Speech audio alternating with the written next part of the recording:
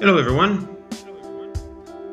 it's another Zero Tuts, and looking at the Toon Boom Animate or Harmony software, we're going to be using the cutter tool to make an eye a little faster.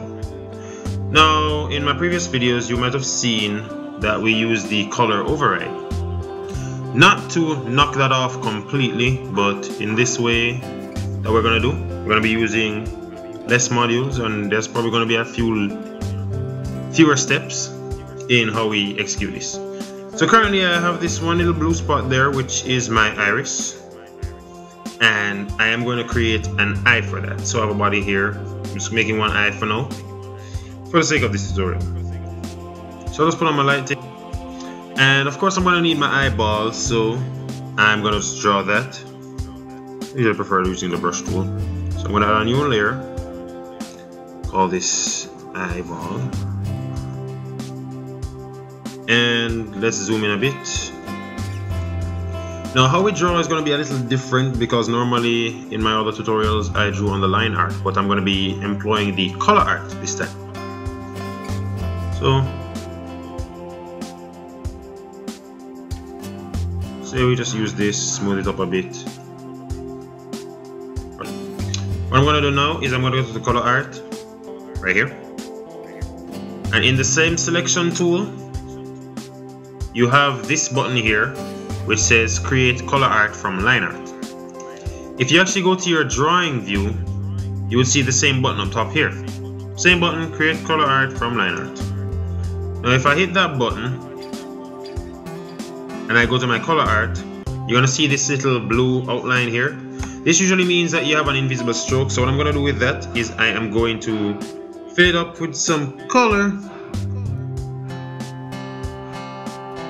Maybe this one wasn't wouldn't work so let's just create a new one. Solid white. Fill that in. And just extend my exposure. So now we have this and I'll just put my iris on top so you can see it like this. Now what we want to do is make sure that inside the white of the eye we always see the iris so we're going to use the network now? Clean this up a bit. Network view. Order up. The network. So it's a little cleaner. Now of course you're going to use the cutter tool and you're going to use it to kind of mask the iris into the eyeball so in the module library, you're going to go to the cutter, pull that to your network, and of course in the cutter it has two drawing inputs you could say. The dotted one means what do you want to cut, and the other one means what do you want to cut it with. Now we want to cut the iris using the eyeball, well not the entire eyeball. So what we would do is we'd stick the iris through the cutter and put the cutter back to the composite. Still looks the same. Now I want to use this eyeball here to cut. Now if I do this and go to my cutter and choose inverted,